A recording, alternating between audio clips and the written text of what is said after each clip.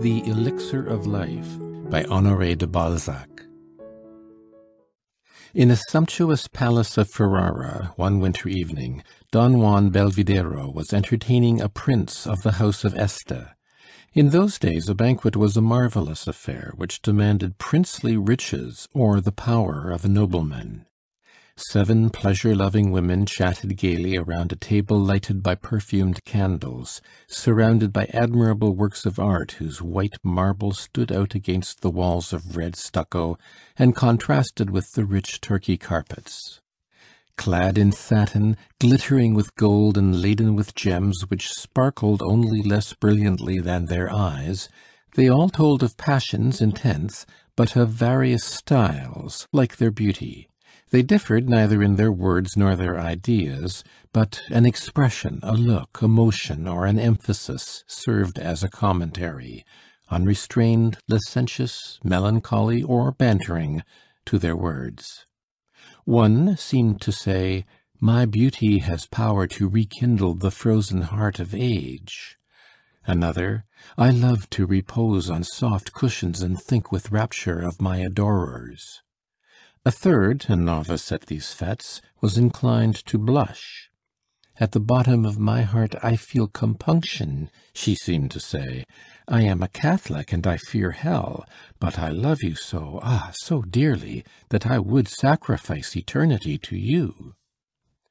The fourth, emptying a cup of Cayenne wine, cried, "Hurrah for pleasure! I begin a new existence with each dawn. Forgetful of the past, still intoxicated with the violence of yesterday's pleasures, I embrace a new life of happiness, a life filled with love." The woman sitting next to Belvidéro looked at him with flashing eyes; she was silent. I should have no need to call on a bravo to kill my lover if he abandoned me. Then she had laughed, but a comfit dish of marvellous workmanship was shattered between her nervous fingers. "When are you to be Grand Duke?" asked the sixth of the prince, with an expression of murderous glee on her lips, and a look of bacchanalian frenzy in her eyes. "And when is your father going to die?" said the seventh, laughing and throwing her bouquet to Don Juan with maddening coquetry. She was an innocent young girl who was accustomed to play with sacred things. "Oh, don't speak of it!" cried the young and handsome Don Juan. "There is only one immortal father in the world, and unfortunately he is mine." The seven women of Ferrara, the friends of Don Juan, and the Prince himself gave an exclamation of horror. Two hundred years later, under Louis XV, well bred persons would have laughed at this sally, but perhaps at the beginning of an orgy the mind had still an unusual degree of lucidity. Despite the heat of the candles, the intensity of the emotions, the gold and silver vases, the fumes of wine, despite the vision of ravishing women, perhaps there still lurked in the depths of the heart a little of that respect for things human and divine which struggles until the revel has drowned it in floods of sparkling wine. Nevertheless, the flowers were already crushed, the eyes were steeped with drink, and intoxication, to quote Rabelais, had reached even to the sandals. In the pause that followed, a door opened, and, as at the feast of Balthazar, God manifested himself. He seemed to command recognition now in the person of an old white haired servant with unsteady gait and drawn brows. He entered with gloomy mien and his look seemed to blight the garlands, the ruby cups, the pyramids of fruits, the brightness of the feast, the glow of the astonished faces, and the colors of the cushions dented by the white arms of the women. Then he cast a pall over this folly by saying, in a hollow voice, the solemn words, "Sir, your father is dying." Don Juan rose, making a gesture to his guests which might be translated, "Excuse me, this does not happen every day." Does not the death of a parent often overtake young people thus in the fulness of life, in the wild enjoyment of an orgy? Death is as unexpected in her caprices as a woman in her fancies, but more faithful. Death has never duped any one. When Don Juan had closed the door of the banquet hall and walked down the long corridor, which was both cold and dark, he compelled himself to assume a mask, for in thinking of his role of son, he had cast off his merriment as he threw down his napkin. The night was black. The silent servant who conducted the young man to the death chamber lighted the way so insufficiently that death, aided by the cold, the silence, the gloom, perhaps by a reaction of intoxication, was able to force some reflections into the soul of the spendthrift. He examined his life and became thoughtful, like a man involved in a lawsuit when he sets out for the court of justice. Bartholomeo Belvidéro, the father of Don Juan, was an old man of ninety, who had devoted the greater part of his life to business. Having travelled much in Oriental countries, he had acquired there great wealth, and learning, more precious, he said, than gold or diamonds, to which he no longer gave more than a passing thought. "I value a tooth more than a ruby," he used to say, smiling, "and power more than knowledge." This good father loved to hear Don Juan relate his youthful adventures, and would say banteringly, as he lavished money upon him, only amuse yourself, my dear child. Never did an old man find such pleasure in watching a young man. Paternal love robbed age of its terrors, in the delight of contemplating so brilliant a life. At the age of sixty, Belvidéro had become enamored of an angel of peace and beauty. Don Juan was the sole fruit of this late love. For fifteen years the good man had mourned the loss of his dear Juana. His many servants and his son attributed the strange habits he had contracted to this grief. Bartholomeo lodged himself in the most uncomfortable wing of his palace, and rarely went out, and even Don Juan could not intrude into his father's apartment without first obtaining permission. If this voluntary recluse came or went in the palace or in the streets of Ferrara, he seemed to be searching for something which he could not find. He walked dreamily, undecidedly, preoccupied, like a man battling with an idea or with a memory. While the young man gave magnificent entertainments and the palace re echoed his mirth, while the horses pawed the ground in the courtyard and the pages quarrelled at their game of dice on the stairs, Bartholomeo ate seven ounces of bread a day and drank water. If he asked for a little poultry, it was merely that he might give the bones to a black spaniel, his faithful companion. He never complained of the noise. During his illness, if the blast of horns or the barking of dogs interrupted his sleep, he only said, "Ah, Don Juan has come home." Never before was so untroublesome and indulgent a father to be found on this earth. Consequently, young Belvidéro, accustomed to treat him without ceremony, had all the faults of a spoiled child. His attitude toward Bartholomeo was like that of a capricious woman toward an elderly lover, passing off an impertinence with a smile selling his good humor and submitting to be loved. In calling up the picture of his youth, Don Juan recognized that it would be difficult to find an instance in which his father's goodness had failed him. He felt a newborn remorse while he traversed the corridor, and he very nearly forgave his father for having lived so long.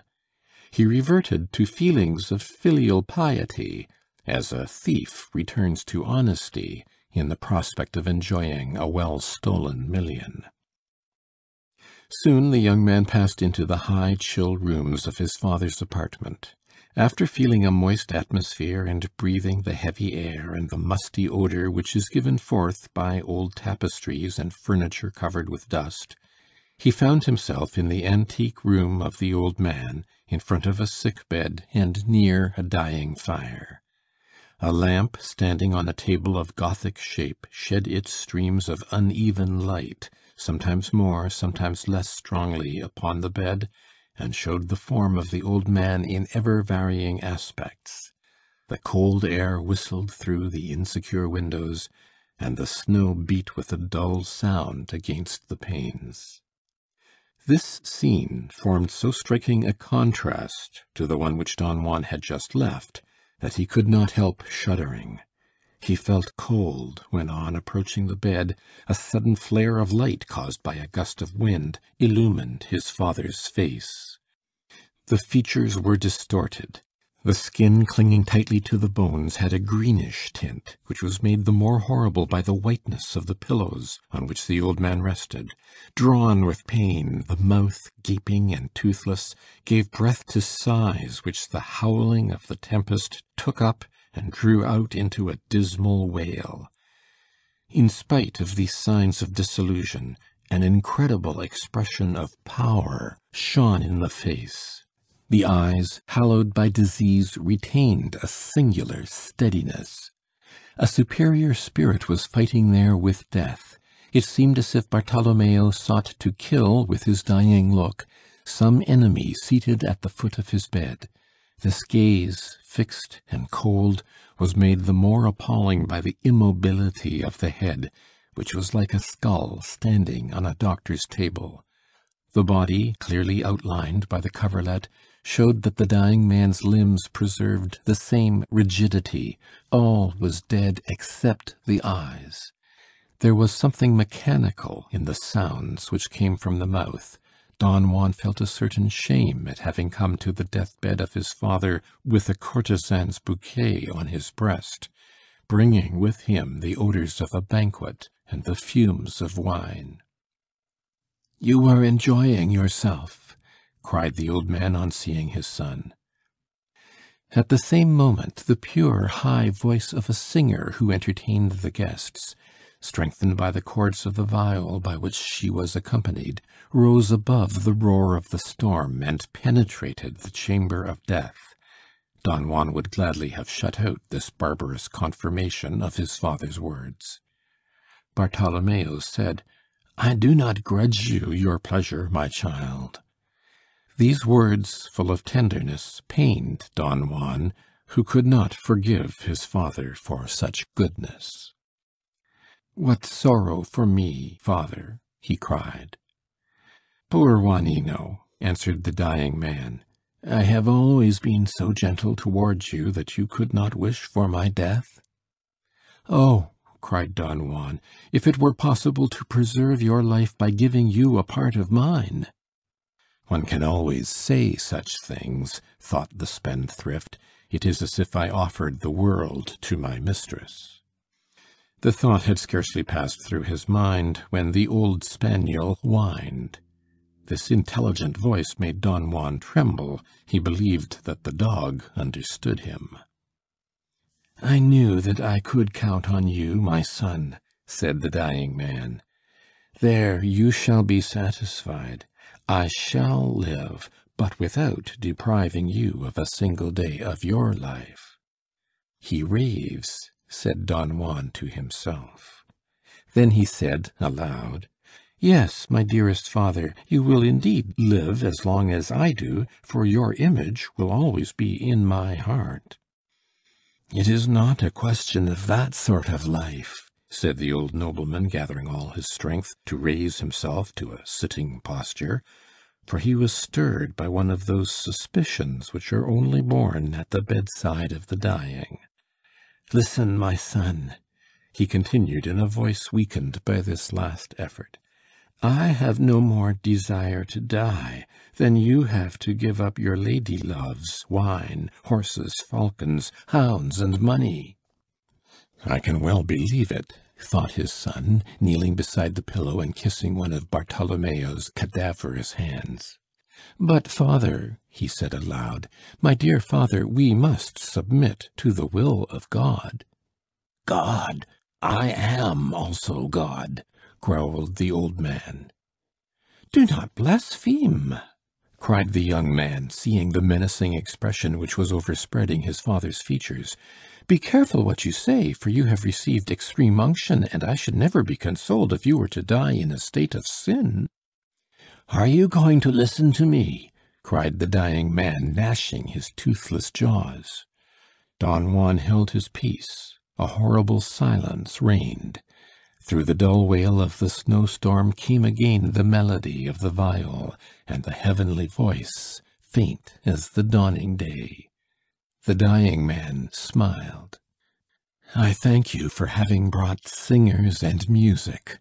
A banquet, young and beautiful women with dark locks, all the pleasures of life. Let them remain. I am about to be born again. The delirium is at its height, said Don Juan to himself. I have discovered a means of resuscitation.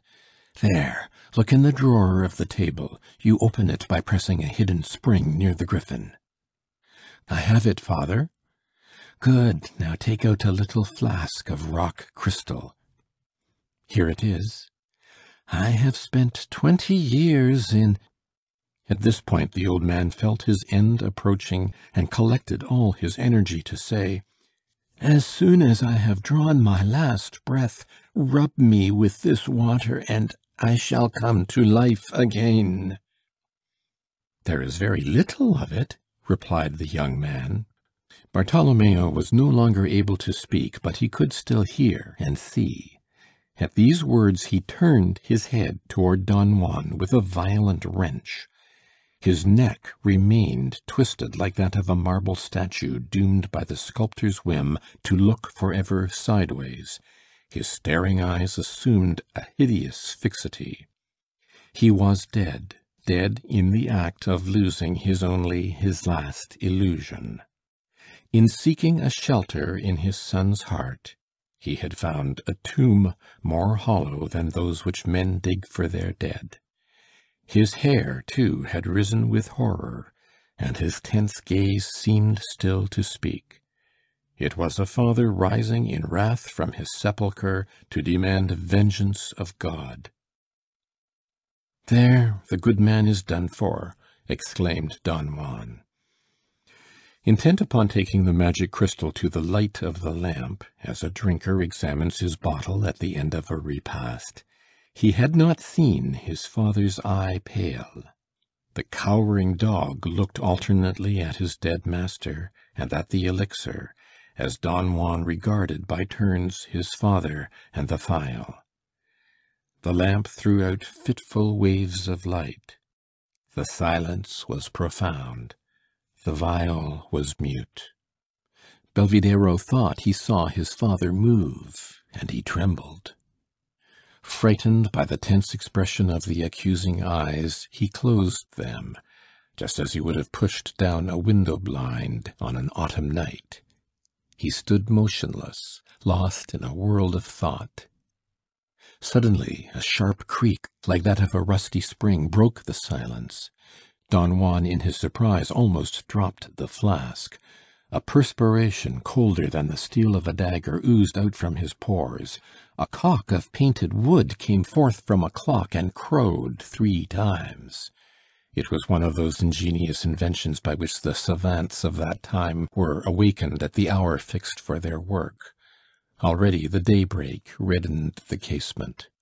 The old timepiece was more faithful in its master's service than Don Juan had been in his duty to Bartholomeo.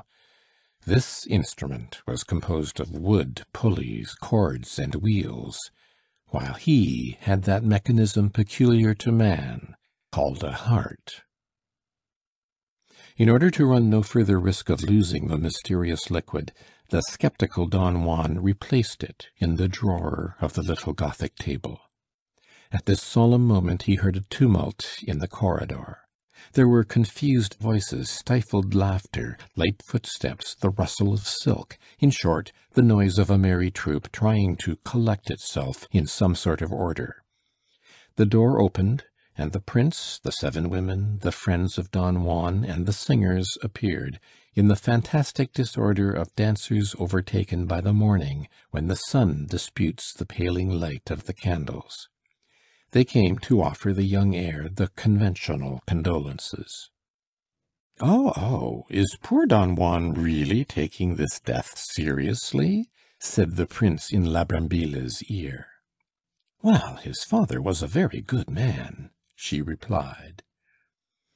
Nevertheless, Don Juan's nocturnal meditations had printed so striking an expression upon his face that it commanded silence. The men stopped motionless. The women, whose lips had been parched with wine, threw themselves on their knees and began to pray.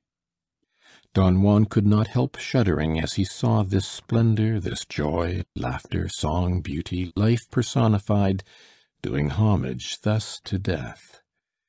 But in this adorable Italy, religion and revelry were on such good terms that religion was a sort of debauch and debauch religion.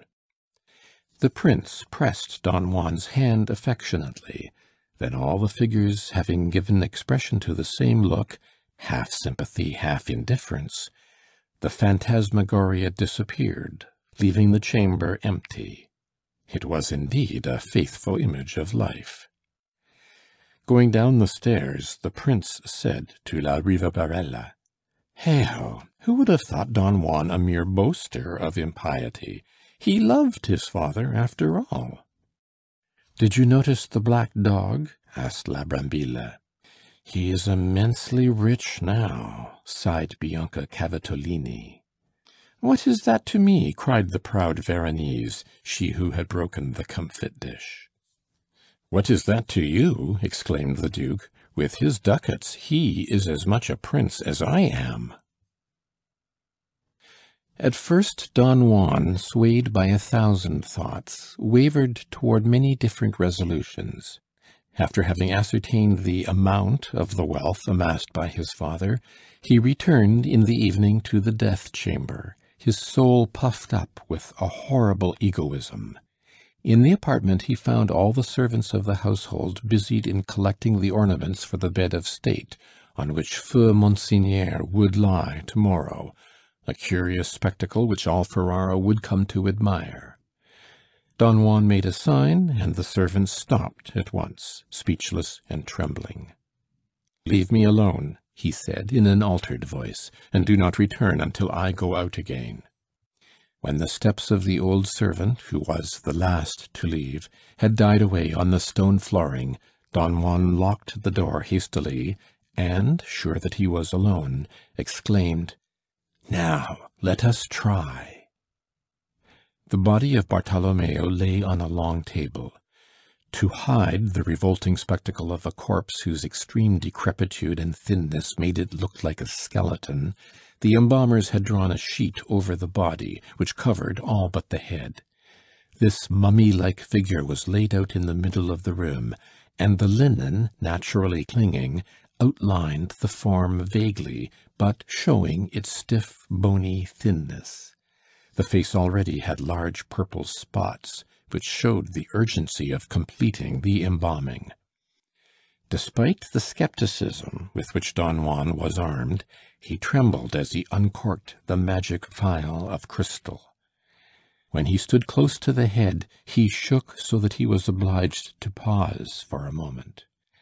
But this young man had allowed himself to be corrupted by the customs of a dissolute court.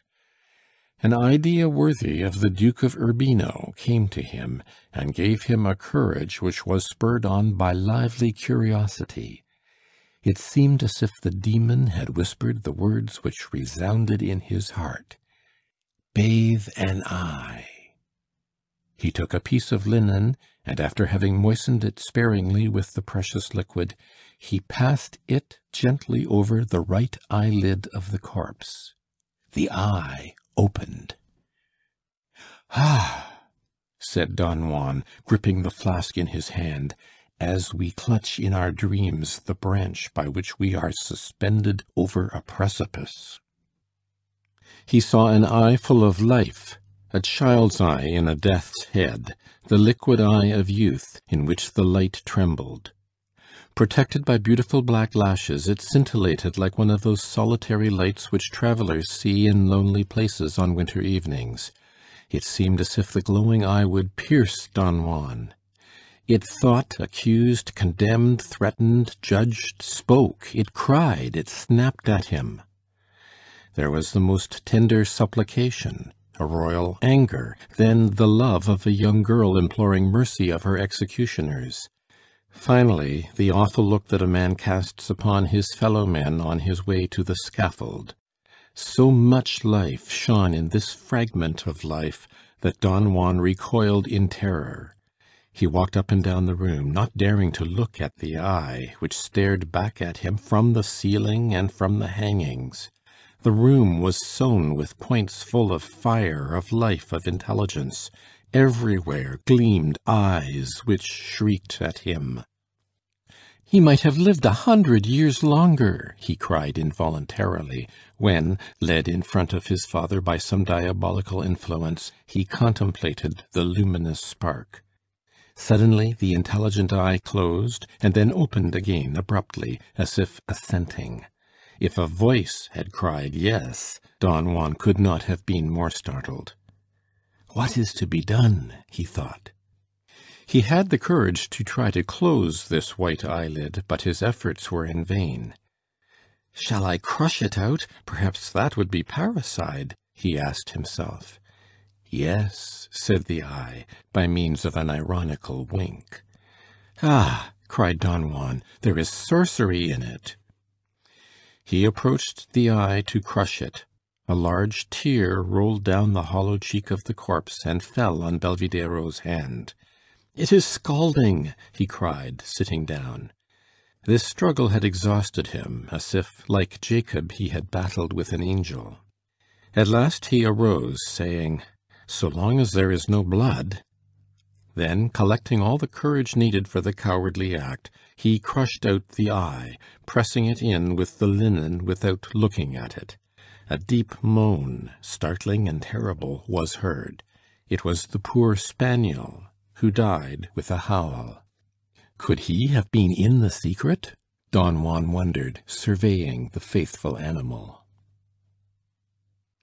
Don Juan was considered a dutiful son. He raised a monument of white marble over his father's tomb, and employed the most prominent artists of the time to carve the figures. He was not altogether at ease until the statue of his father, kneeling before religion, imposed its enormous weight on the grave, in which he had buried the only regret that had ever touched his heart, and that only in moments of physical depression.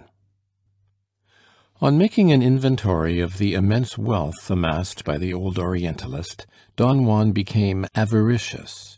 Had he not two human lives in which he should need money? His deep searching gaze penetrated the principles of social life, and he understood the world all the better because he viewed it across a tomb. He analyzed men and things, that he might have done at once with the past, represented by history, with the present, expressed by the law, and with the future, revealed by religion. He took soul and matter, threw them into a crucible, and found nothing there. And from that time forth he became Don Juan. Master of the illusions of life, he threw himself, young and beautiful, into life, despising the world, but seizing the world. His happiness could never be of that bourgeois type which is satisfied by boiled beef, by a welcome warming pan in winter, a lamp at night, and new slippers at each quarter. He grasped existence as a monkey seizes a nut, peeling off the coarse shell to enjoy the savory kernel. The poetry and sublime transports of human passion touched no higher than his instep. He never made the mistake of those strong men who, imagining that little souls believe in the great, venture to exchange noble thoughts of the future for the small coin of our ideas of life. He might, like them, have walked with his feet on earth and his head among the clouds, but he preferred to sit at his ease and sear with his kisses the lips of more than one tender, fresh, and sweet woman. Like death, Wherever he passed, he devoured all without scruple, demanding a passionate Oriental love and easily won pleasure. Loving only woman in women, his soul found its natural trend in irony. When his inamoratas mounted to the skies in an ecstasy of bliss, Don Juan followed, serious, unreserved, sincere as a German student. But he said "I," while his lady love in her folly said "we." He knew admirably how to yield himself to a woman's influence.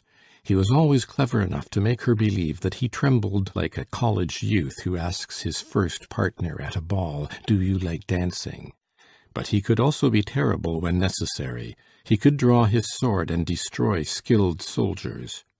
There was banter in his simplicity and laughter in his tears, for he could weep as well as any woman who says to her husband, "Give me a carriage, or I shall pine to death." For merchants, the world means a bale of goods or a quantity of circulating notes. For most young men it is a woman; for some women it is a man. For certain natures it is society, a set of people, a position, a city. For Don Juan the universe was himself. Noble, fascinating, and a model of grace, he fastened his bark to every bank, but he allowed himself to be carried only where he wished to go. The more he saw, the more sceptical he became. Probing human nature, he soon guessed that courage was rashness. Prudence, cowardice; generosity, shrewd calculation; justice, a crime; delicacy, pusillanimity; honesty, policy; and by a singular fatality he perceived that the persons who were really honest, delicate, just, generous, prudent, and courageous, received no consideration at the hands of their fellows. "What a cheerless jest!" he cried. "It does not come from a god." And then, renouncing a better world, he showed no mark of respect to holy things, and regarded the marble saints in the churches merely as works of art. He understood the mechanism of human society, and never offended too much against the current prejudices, for the executioners had more power than he. But he bent the social laws to his will with the grace and wit that are so well displayed in his scene with Monsieur Dimanche. He was, in short, the embodiment of Molière's Don Juan, Goethe's Faust, Byron's Manfred, and Maturin's Melmoth grand pictures drawn by the greatest geniuses of Europe, and to which neither the harmonies of Mozart nor the lyric strains of Rossini are lacking terrible pictures in which the power of evil existing in man is immortalized, and which are repeated from one century to another, whether the type come to parley with mankind by incarnating itself in Mirabeau, or be content to work in silence like Bonaparte, or to goad on the universe by sarcasm like the divine Rabelais. Or again, to laugh at men instead of insulting things, like Marechal de Richelieu; or still better, perhaps, if it mock both men and things, like our most celebrated ambassador. But the deep genius of Don Juan incorporated in advance all these. He played with everything. His life was a mockery, which embraced men, things, institutions, ideas. As for eternity, he had chatted for half an hour with Pope Julius II, and at the end of the conversation he said, laughing, "If it were absolutely necessary to choose, I should rather believe in God than in the devil. Power, combined with goodness, has always more possibilities than the spirit of evil." "Yes, but God wants one to do penance in this world." "Are you always thinking of your indulgences?" replied Belvidéro. Well, I have a whole existence in reserve to repent the faults of my first life." "Oh, if that is your idea of old age," cried the Pope, "you are in danger of being canonized." "After your elevation to the Papacy, one may expect anything." And then they went to watch the workmen engaged in building the huge basilica consecrated to Saint Peter. "St. Peter is the genius who gave us our double power," said the Pope to Don Juan, "and he deserves this monument. But sometimes at night I fancy that a deluge will pass a sponge over all this, and it will need to be begun over again." Don Juan and the Pope laughed. They understood each other. A fool would have gone next day to amuse himself with Julius II at Raphael's house or in the delightful Villa Madama, but Belvidéro went to see him officiate in his pontifical capacity in order to convince himself of his suspicions. Under the influence of wine, Della Rovere would have been capable of forgetting himself and criticising the Apocalypse. When Don Juan reached the age of sixty, he went to live in Spain. There, in his old age, he married a young and charming Andalusian. But he was intentionally neither a good father nor a good husband. He had observed that we are never so tenderly loved as by the women to whom we scarcely give a thought. Dona Elvira, piously reared by an old aunt in the heart of Andalusia in a castle several leagues from San Lucas, was all devotion and meekness. Don Juan saw that this young girl was a woman to make a long fight with a passion before yielding to it, so he hoped to keep from her any love but his until after his death. It was a serious jest, a game of chess which he had reserved for his old age. Warned by his father's mistakes, he determined to make the most trifling acts of his old age contribute to the success of the drama which was to take place at his deathbed. Therefore, the greater part of his wealth lay buried in the cellars of his palace at Ferrara, whither he seldom went. The rest of his fortune was invested in a life annuity, so that his wife and children might be interested in keeping him alive. This was a species of cleverness which his father should have practised, but this Machiavellian scheme was unnecessary in his case. Young Philippe Belvidéro, his son, grew up a Spaniard as conscientiously religious as his father was impious, on the principle of the proverb, "A miserly father, a spendthrift son." The Abbot of San Lucas was selected by Don Juan to direct the consciences of the Duchess of Belvidéro and of Philippe.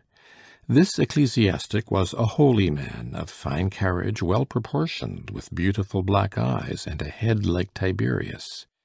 He was wearied with fasting, pale and worn, and continually battling with temptation, like all recluses.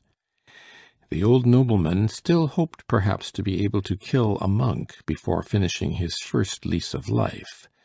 But whether the abbot was as clever as Don Juan, or whether Dona Elvira had more prudence or virtue than Spain usually accords to women, Don Juan was obliged to pass his last days like a country parson, without scandal. Sometimes he took pleasure in finding his wife and son remiss in their religious duties, and insisted imperiously that they should fulfil all the obligations imposed upon the faithful by the court of Rome. He was never so happy as when listening to the gallant abbot of San Lucas, Dona Elvira, and Philippe engaged in arguing a case of conscience. Nevertheless, despite the great care which the lord of Belvidéro bestowed upon his person, the days of decrepitude arrived. With this age of pain came cries of helplessness, cries made the more piteous by the remembrance of his impetuous youth and his ripe maturity. This man, for whom the last jest in the farce was to make others believe in the laws and principles at which he scoffed, was compelled to close his eyes at night upon an uncertainty. This model of good breeding, this duke spirited in an orgy, this brilliant courtier, gracious toward women, whose hearts he had wrung as a peasant bends a willow wand, this man of genius had an obstinate cough, a troublesome sciatica, and a cruel gout. He saw his teeth leave him as at the end of an evening the fairest, best dressed women depart one by one, leaving the ballroom deserted and empty. His bold hands trembled, his graceful limbs tottered, and then one night apoplexy turned its hooked and icy fingers around his throat. From this fateful day he became morose and harsh. He accused his wife and son of being insincere in their devotion, charging that their touching and gentle care was showered upon him so tenderly only because his money was all invested. Elvira and Philippe shed bitter tears, and redoubled their caresses to this malicious old man, whose broken voice would become affectionate to say, "My friends, my dear wife, you will forgive me, will you not? I torment you sometimes. Ah, great God, how canst thou make use of me thus to prove these two angelic creatures? I, who should be their joy, am their bane." It was thus that he held them at his bedside, making them forget whole months of impatience and cruelty by one hour in which he displayed to them the new treasures of his favor and a false tenderness. It was a paternal system which succeeded infinitely better than that which his father had formerly employed toward him. Finally, he reached such a state of illness that manoeuvres like those of a small boat entering a dangerous canal were necessary in order to put him to bed. Then the day of death came. This brilliant and sceptical man, whose intellect only was left unimpaired by the general decay, lived between a doctor and a confessor, his two antipathies. But he was jovial with them. Was there not a bright light burning for him behind the veil of the future? Over this veil, leaden and impenetrable to others, transparent to him, the delicate and bewitching delights of youth played like shadows. It was on a beautiful summer evening that Don Juan felt the approach of death. The Spanish sky was gloriously clear, the orange trees perfumed the air, and the stars cast a fresh glowing light. Nature seemed to give pledges of his resurrection. A pious and obedient son regarded him with love and respect. About eleven o'clock he signified his wish to be left alone with this sincere being. "Philippe," he began, in a voice so tender and affectionate that the young man trembled and wept with happiness, for his father had never said Philippe like this before. "Listen to me, my son," continued the dying man. "I have been a great sinner, and all my life I have thought about death. Formerly I was the friend of the great Pope Julius II. This illustrious pontiff feared that the excessive excitability of my feelings would cause me to commit some deadly sin at the moment of my death, after I had received the blessed ointment. He made me a present of a flask of holy water that gushed forth from a rock in the desert. I kept the secret of the theft of the Church's treasure, but I am authorized to reveal the mystery to my son in articulo mortis. You will find the flask in the drawer of the Gothic table which always stands at my bedside. The precious crystals may be of service to you also, my dearest Philippe. Will you swear to me by your eternal salvation that you will carry out my orders faithfully?" Philippe looked at his father. Don Juan was too well versed in human expression not to know that he could die peacefully in perfect faith in such a look, as his father had died in despair at his own expression. "You deserve a different father," continued Don Juan. I must acknowledge that when the estimable Abbot of San Lucas was administering the viaticum, I was thinking of the incompatibility of two so wide spreading powers as that of the devil and that of God. "Oh, father!" And I said to myself that when Satan makes his peace, he will be a great idiot if he does not bargain for the pardon of his followers. This thought haunted me. So my child, I shall go to hell if you do not carry out my wishes." "Oh, tell them to me at once, father." "As soon as I have closed my eyes," replied Don Juan, "and that may be in a few minutes, you must take my body, still warm, and lay it on a table in the middle of the room. Then put out the lamp; the light of the stars will be sufficient. You must take off my clothes, and while you recite paters and aves and uplift your soul to God, you must moisten my eyes, my lips, all my head first, and then my body with this holy water. But, my dear son, the power of God is great. You must not be astonished at anything." At this point Don Juan, feeling the approach of death, added in a terrible voice, "Be careful of the flask." Then he died gently in the arms of his son, whose tears fell upon his ironical and sallow face. It was nearly midnight when Don Philippe Belvidéro placed his father's corpse on the table. After kissing the stern forehead and the gray hair, he put out the lamp. The soft rays of the moonlight, which cast fantastic reflections over the scenery, allowed the pious Philippe to discern his father's body dimly, as something white in the midst of the darkness. The young man moistened a cloth in the liquid, and then Deep in prayer, he faithfully anointed the revered head. The silence was intense. Then he heard indescribable rustlings, but he attributed them to the wind among the tree tops. When he had bathed the right arm, he felt himself rudely seized at the back of the neck by an arm, young and vigorous, the arm of his father. He gave a piercing cry and dropped the phial, which fell on the floor and broke. The liquid flowed out. The whole household rushed in, bearing torches. The cry had aroused and frightened them as if the trumpet of the Last Judgment had shaken the world. The room was crowded with people. The trembling throng saw Don Philippe fainting, but held up by the powerful arm of his father, which clutched his neck. Then they saw a supernatural sight, the head of Don Juan, young and beautiful as an Antinous, a head with black hair, brilliant eyes, and crimson lips, a head that moved in a blood curdling manner without being able to stir the skeleton to which it belonged. An old servant cried, "A miracle!" and all the Spaniards repeated, "A miracle!" Too pious to admit the possibility of magic, Doña Elvira sent for the Abbot of San Lucas. When the priest saw the miracle with his own eyes, he resolved to profit by it, like a man of sense, and like an abbot who asked nothing better than to increase his revenues. Declaring that Don Juan must inevitably be canonized, he appointed his monastery for the ceremony of the apotheosis. The monastery, he said, should henceforth be called San Juan de Lucas. At these words the head made a facetious grimace.